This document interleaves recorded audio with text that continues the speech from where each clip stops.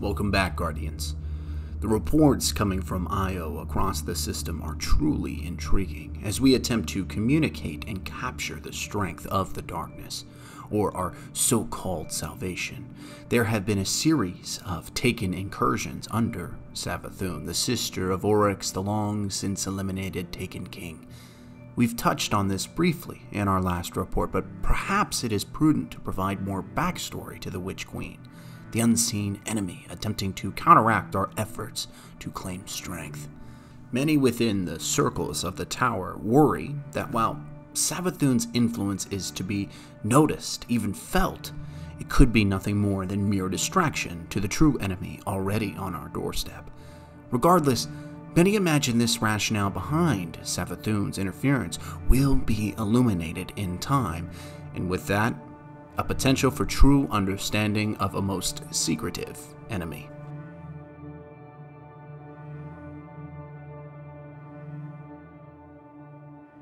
To start, we should discuss the origin of the Hive, or I should say, the Krill. On the planet Fundament, homeworld of the Hive, or perhaps again the Krill, Savathun was known as Sathona. She was the second born daughter of the Osmium King, the Krill lived harsh and short lives. Their planet of fundament was a mesh of planetary collision, effectively two bodies that millions of years prior had directly intertwined, forming a planet of constantly shifting continents, vast seas, and horrific natural phenomenons. Clouds that would eat the krill people, continents that would swallow others whole. It was a world vastly different than our Earth, relatively calm, in tectonic shifts. Sathona had a royal upbringing. She was tutored by the great betrayer known as Tawix, who had seen their osmium king fall to insanity. Not a typical insanity, mind you, but that of the curse of promises, of wish fulfillment, of enchantment, those of the worm gods the very same you faced in the Dreaming City and on Mars. Some of you may even walked in the body of a worm on the Dreadnought so many years ago. This betrayal had invited a rival kingdom to slay the king and the royal daughters, install Tawix as the ruling regent of the Osmium Kingdom. However, always cunning, always resourceful, Sathona and her two sisters would escape just as Sathona retrieved her now dead father's worm larvae carcass, which had inflicted him with these promises of power, of hope. Aurash, who would eventually become Oryx, would take his two sisters on a journey to the center of Fundament, deep within the crushing seas of the planet's constantly shifting landmasses. Her father believed that the ending of Fundament, a prophesized event called the Syzygy, was soon to occur, and that the worms could be their only chance to save the Krill people and escape Fundament forever. Now, as they traveled the seas, the dead worm would slowly start to speak to Sathona, ushering in more madness disguised as guidance.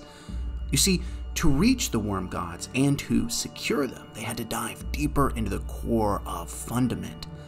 There, they would encounter their first experience with the light, referred to by the Hive as the sky, and would have to make a choice between the two factions warring for a universal law, that of light and darkness, the sky and the deep.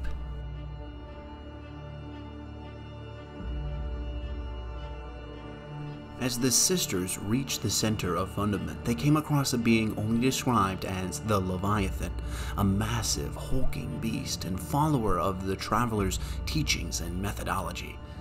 It had helped the traveler trap the worm gods within the core of Fundament, stating to the sisters that the worms offered only one thing death, destruction, and mindless and endless war. It was a path of anti peace, anti life, just hatred for all things that were deemed weak, that didn't have the will to fight. The Krill had revered this creature, had believed in its ability, almost ushered it to a godlike status among its, its people of fundament, that it could provide hope and opportunity and uh, even assistance to the plight of the Krill, usher them away from their world ending calamity. But the Leviathan refused the world ending event, a massive divine wave, would not affect him or his charge so deep below the surface of the fundament sea. In truth, the Leviathan The, the sky, the light, never gave the Krill a chance, never gave them an opportunity to reach a potential in the light, in the goodness we hold. Now imagine, Guardians, just for a moment, what if the sky, this Leviathan, had chosen to help the people of Sathona? Rescue them from their world ending event. Certainly, they would have turned away from the worm gods. Billions of untold lives would have been saved from their torment of the Hive conquest. The choice made by one representative of the light, this so called disciple, forced the Krill to choose darkness. What other option was there? What if we were given this choice? What if Guardians, humanity, was asked by the Traveler, You aren't enough. I have the power, the technology to save you, but since I remain unaffected by what comes or my mission is too important, what would we choose? Would we reside to our deaths? Accept it? Because our so called divine being didn't offer his intervention on our behalf? Of course not. This would be like accepting a fightless death. We would be so entrapped in our own dogma that we would be blind. The only real choice isn't about this power or that. It's not about this gardener or this winnower. It's about us, our people, our fight for survival, and I'd wager that if we look back, much like the hive, we'd accept our decision. We would live, not to be forgotten, our hopes, our dreams, our ambitions removed from this universe. It's philosophical conjecture to be certain, Guardians, but hopefully this help frames the next steps of Sathona, Zero, and Aurash.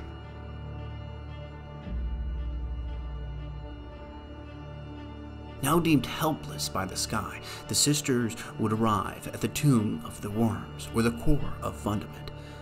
Much of the Book of Sorrows is largely symbolic, and in some areas lacks specific details. We know that these worm gods offered a chance for the sisters to escape the world of Fundament along with their people, but there was a catch. The krill would have to take the worm larvae within themselves, forming a symbiotic relationship. The krill would transform, and over time, they would become the hive of today. Sathona would take the witch form and become Savathun. Xi Ro would take the knight form and become Xivu Arath. And Aurash would take the king form and become Oryx. Not the Oryx we know, but an earlier version of it. The additional caveat was that the three sisters could never deviate from their core motivations, or essentially what defines them. Xivu Arath must constantly test her strength, Oryx must constantly seek to understand the universe, and Savathun must continue to always be cunning. Make no mistake, Guardians, this symbiosis was forced upon the Krill. But what other choice did they have? Allow the end to come and accept that the light has chosen to discard you and leave you to your fate? Again, no. But the worms required a certain energy, death, conquest, destruction, the elimination of those weaker in pursuit of the final form, the sharpest edge, the only blade left in an arena of weapons. This is the core philosophy and methodology of the sword logic. Better yourself, raise up your ability to cheat death. except that those that stand against you must either defeat you or you must defeat them. There is no mutual understanding, there's no neutrality. There is only delivering death or receiving your end in the sword logic. Now, as the sisters escaped Fundament, Oryx and those with him would turn their attention to the outlying moons. The Ammonites, who had allied with the Traveler and had given safe harbor to the traitor of Tawix, had now come with the Leviathan. Again, the sisters would be forced against the light and its allies, forced to fight them to combat them. Oryx did initially wish to negotiate with the people of the moons of Fundament, but Savathun viewed this as a weakness, especially when influenced by the dead worm she carried, killing her now brother. This would lead to the first formation, or at least notation, of the Hive Ascendant Realms, where the Pinnacle Hive, now Xivu Arath, Oryx, and Savathun, could not be so easily killed in just the mortal realm. It would require an additional removal in their Ascendant realm. Their soul essentially would pass from the mortal realm to that of the Ascendant. Now removed from any impartiality, of any sympathy, Oryx returned to the mortal realm as now the Oryx that we know, or at least the one we knew during the Taken War, a merciless tyrant. The war continued from battle to genocide. The worms were pleased. They grew fat from the death provided to them by their hosts. But Savathun knew, even waited and utilized her natural cunning in an effort to stem the tide of feeding the worm.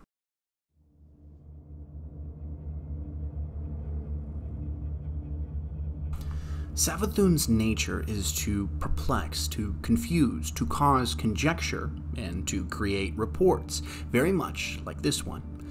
As we discussed her true nature, attempt to understand her in a way we are feeding her worm or providing her a source of power. Now, originally, all the worms required a single source of sustenance death or destruction or some continued movement towards the final shape. But Savathun, ever cunning, ever curious, attempted multiple ways to circumvent the word's need for this style of feeding. It was unsustainable, at least described in the hive history that whenever they conquered a world, decimated a populace, the worm would require the next feat to be ever greater. There was no equilibrium, only greed for more. To provide more context, the hive operate on a tithe system. Quite simply, each worm feeds up to another, in that they call tribute. Thralls to acolytes, to knights or wizards, to ascendant, and finally to your three sisters. The process is a bit vague, but we assume that the enactor of the tribute gathering keeps some of the feed for himself, then provides the rest of the energy to those above him in the chain. Savathun explored ways, paths, and opportunities to defeat this system. As explained, it was just unsustainable, and her nature required her to do so, to trick, to deceive. First, Savathun had attempted time dilation as a way to trick the worm by placing several of the Ascendant Hive that feed up to her worm around a black hole, where time would pass slower in the Ascendant realms. Thus, the worms could perceive an increased rate of tribute. The worms, ever understanding, saw through her schemes of time dilation and were pressured for more tribute, causing pain and chaos within Savathun's brood. But Savathun, ever unsatisfied, decided to push for reformation of her tribute system. Instead of tribute provided by conquest or warfare, tribute could be provided by those failing to understand her machinations.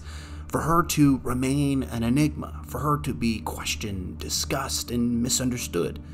Effectively, this report and those like it that fail to explain away her actions or perhaps drive a conclusion that is at its core incorrect would provide to her worm, her brood tribute, overall very satisfying. To explain her theory and her implementation, we must discuss Quria, Blade Transform, and the schemes of today.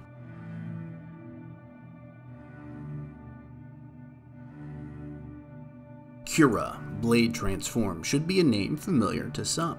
But this Vex Axis mind, now taken and under direct control of Savathun, is the core power pillar for the Witch Queen. As Savathun attempted to introduce a new method of tribute, she instigated a war between the Vex and Crota, the son of Oryx, in an attempt to create a new Axis mind capable of understanding the Hive, the worms, and the power the Ascendant Realm had. It's quite obscure if this was a master plan of Savathun, or if she only intended to weaken her brother's control by humiliating the son. Regardless, Quria would eventually fall to the combined efforts of Crota and Oryx, and eventually be transformed into a Taken. The last effort of Quria was to provide the Vex in its entirety the knowledge it gained of the Hive, the Ascendant Realms, and the roles of worship and tribute which many theorize was the foundation of the Vex's worship structure, or seemingly so. Savathun would be gifted this Axis mind. Again, whether her master plan or not is a point of conjecture within many in the community, but the Witch Queen would achieve her goal, at least in partiality. The Vex mind would be hers to command, to test, to torture, and to understand, but it would also be used to challenge the sword logic, to simulate a thousand thousand possibilities on the nature of tribute how to circumvent it. It's argued at this point Quria did achieve the ability to allow Savathun's brood, and perhaps more of the hive, a path to circumvent the need to feed their worms, but the lack of concrete detail or the actual citation is fuddled in confusing reports, likely tampered with by Savathun herself in an attempt to fulfill her nature and perhaps power her new form of tribute. Savathun has also reportedly been behind the events of the Dreaming City, forcing the Taken Curse, empowered through Quria, where the area would be forced to relive the same three week cycle. She poisoned the champion Galaran, found within the Leviathan. She betrayed the Hive on Luna, ending the final line of her brother Oryx, and now she seeks to utilize Nokris against us on Io to dampen our communication with the darkness and directly oppose them. There's a plethora of information here, Guardian, and I endeavor to help you explore these intricacies with engaged interest. But if you are to take anything away from this report, know this. Savathun supposedly has the same power to take as Oryx did, thanks to the simulations of Oryx by Quria. She is motivated by cunning and gains strength not by violence, but by obscurement, keeping her plans, her machinations intangible, forcing us to constantly question, to reach and reach, and still find ourselves lacking any solidified answers. She is an ultimate enemy that operates in the shadows, causing mayhem for seemingly unknown reasons. This interruption with our communication with the darkness is another of her master plans, one we hope to reveal in time.